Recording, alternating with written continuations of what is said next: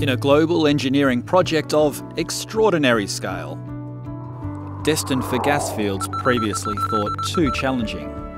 Shell is building a floating facility that will liquefy natural gas at sea.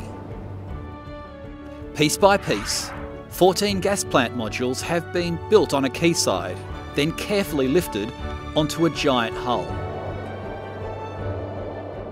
Now the last module is ready for installation, and Prelude is taking shape.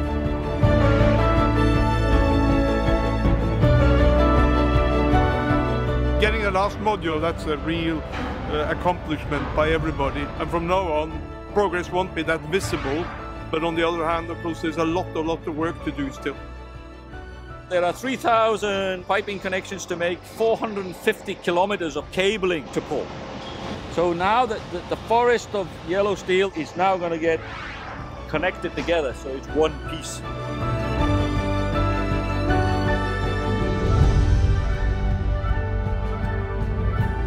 This cargo tank, which is for LNG, is 39,000 cubic meter.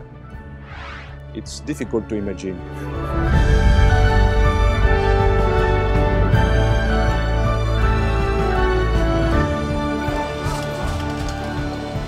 In the liquefaction module and we're at the very heart of the liquefaction process with the, this refrigerant loop being assembled now.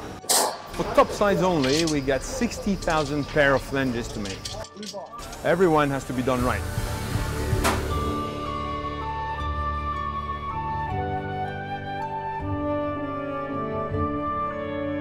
We're at the front of Dry Dock 1 here, where our seven uh, MLAs, marine loading arms, have been for the last few months.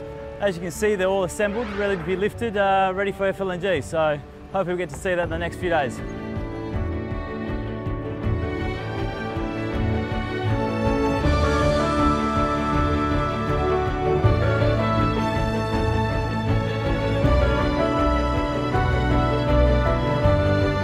When we see the last module coming on, on the deck, then now the real work will start.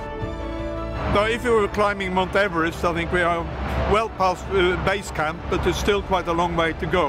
And of course, as you go, it gets narrower and narrower. Tell you what, I'm going to give another analogy.